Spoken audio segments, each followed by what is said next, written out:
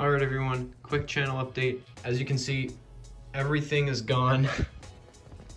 uh, all around the room. All the back boxes are gone. And that's because my room's getting redone. It's very barren in here right now. The room's getting redone. Uh, this doesn't mean that uh, Fire Alarm content's gonna be uh, slowing down or stopping. It's just that the stuff that's on the wall here is no longer going to be happening. And as for the new system, unfortunately, it is delayed again due to unexpected circumstances. Also, I'd like to note that I am very close to 300 subscribers, so that's very cool as well. Sooner rather than later, hopefully things will be uh, back to normal.